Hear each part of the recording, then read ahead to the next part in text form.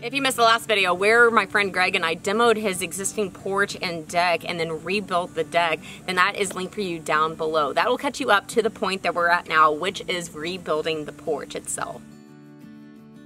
When we were demoing the old porch, the only part we held on to to reuse were these giant white oak posts. Actually, Greg is also a sawyer and milled these posts himself. Man, I'm so strong. We detached them from the rubble, then set them in place one by one, making sure to place them on top of the beams of the deck so that they were on solid footing. Then we would set two braces in place to get them nice and plumb. To start, we would first make sure the post was sitting square to the face of the deck. Then using a post level, which just reads level on two faces at once, to move the post into plumb. While one person was reading the levels, the other person would be squeezing down on the clamps to hold it into that position. After checking it one last time that nothing had moved, we threw a few screws in the braces. If you don't have a post level, then using a 4 foot or 6 foot level on two sides also works. After we got the second post set, we next moved to the top and set the header to hold them into position. We could have gone through and first set all of the posts, then gone back to the headers, but instead, we built the porch by working left to right and going through the stages before we moved all the ladders and scaffolding over. Once the header was in place, then we started throwing up the rafters. Well, not right away. We first needed to figure out the angle and depth of the back cut to allow the rafter to sit on the header attached to the shop. Then also the front's bird's mouth to allow it to sit on the header spanning the post. We started off by positioning one rafter in place to get both of these figured out and marked. Then we cut it and test fitted it to make sure it worked. Once it was good to go, we marked this one as our template and used it to duplicate the cuts on all the other needed rafters, which was a lot. Greg and I ended up finding a really good system for cutting these out quickly though. He would grab a new board from the raw material stack and set it on the tailgate, which is a wonderful job site workbench by the way. He would place the template on top of the new board and get things lined up. Then he would use the circular saw to cut the end to length, then also make the majority of the cuts for the bird's mouth. While he was doing that, I would make the finished cuts with a jigsaw to end up with a clean 90 degree corner. It's really easy to use a circular saw and just overcut the corner so that you don't have to use two tools here. But that does mess with the weakness of the connection. So since this is something that will be around for a long time, just take the extra time to make it nice and clean. After switching sides and both our tools finishing their needed jobs, I would take the completed rafter and set it in place over at the porch, while Greg grabbed the next board so that we could repeat the entire process.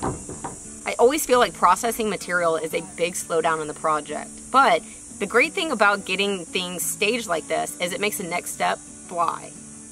With the rafters all ready to go and lined up, Greg and I could position our ladders and very quickly start installing them. Our system here was Greg passing over the tail of the rafter to me while he walked up his ladder. I would position it on the header and secure it in place. I don't know if you can tell, but I have a spacer here to avoid having to pull a tape and set each one. I would use a spacer to determine the location, then once I pinned it, I would move it out of the way, finish securing the rafter, and then use my spacer for setting the next one. Now, Greg didn't have a spacer at his end. Well, I mean, he kind of did. See, the front of the porch gets blocking in between each rafter. This is a board cut to length to fit between the rafters, but it gets secured in place. This not only gives rigidity to the rafters to prevent them from rolling, but also closes off the gap that's created between the top of the header and the top of the rafter, just to keep birds and such out. One addition that made this step easier was Justin, who's the videographer. He ended up passing the rafter up to Greg, which saved him a trip up and down the ladder. With a third hand, we could actually attach two rafters before we had to shift the entire operation down some. Once we installed all the rafters we could on two posts we had installed, we would both hop down and then install the next post, and then the next header, and then repeat with the next section of rafters.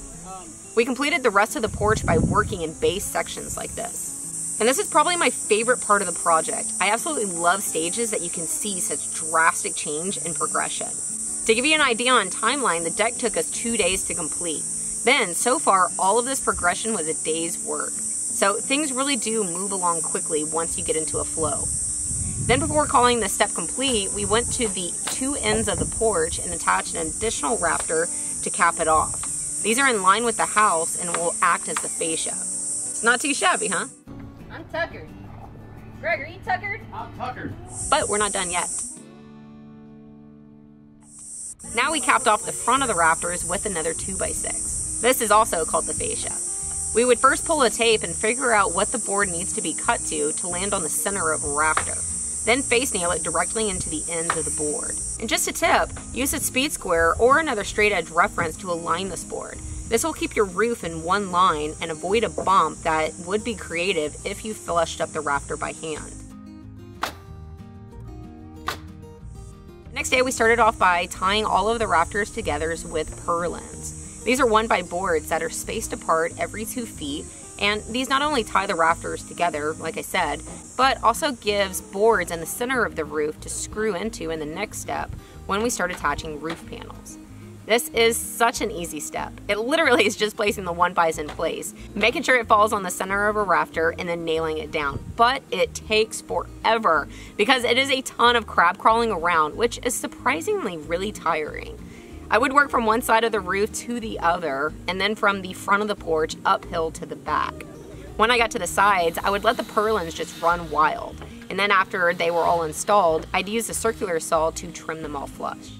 Next, bring in the roofing panels. Greg went with standard metal roofing panels, and since he has a tractor, he first placed them on the forks to lift them up in the air for me to just grab and place into position. After laying down a sheet, he would inch the tractor forward so that it would be in line with the next needed position so that I could pull it directly off and then on.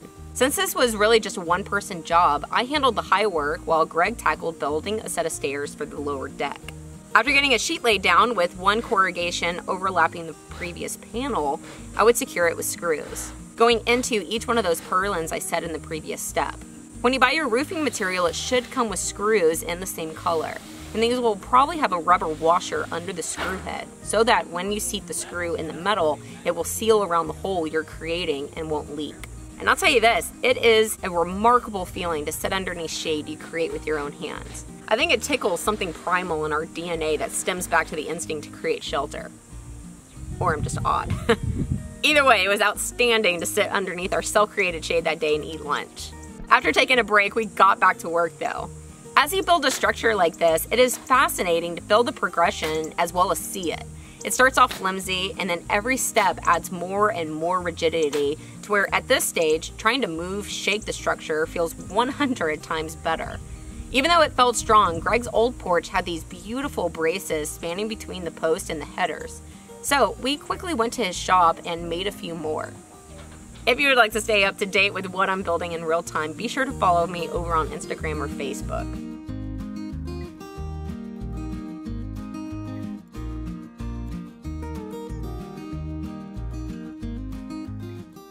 That was all we were able to get done in the few days I was visiting. But since leaving Greg's, he's put a lot of finishing details such as painting, adding soffit, lights, and even some plants. We were both in awe of what we were able to accomplish in just four days. We celebrated wrapping up this big project by moving a table onto the porch and having a family dinner on it. And that was really the cherry on top of a great rewarding week. That was not bad for three and a half days worth of work. So if you have a porch on your list, then I really hope that this has helped you out. It might not go in three days, but don't let that be the factor for if you tackle it or not. Greg has built this entire shop by himself. So it can be done regardless of what project is on your list. Uh, be sure to check out Greg on Instagram as well as his website. He offers tons of classes, a course on chair making in this wonderful heaven of a shop of his. So I'll leave you links to all of his stuff down in the description and of course to everything we use down in the description. Hope that you've enjoyed watching this and I'll catch you on my next one. Cheers. Cheers.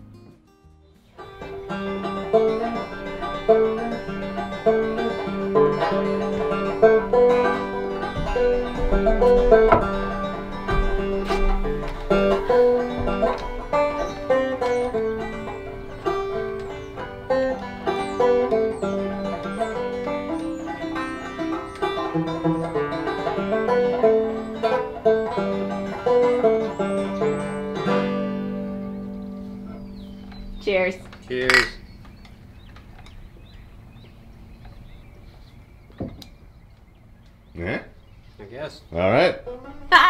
Thank you so much for checking out this video. If you would like another project to tackle, don't forget that I have templates for this folding Adirondack chair.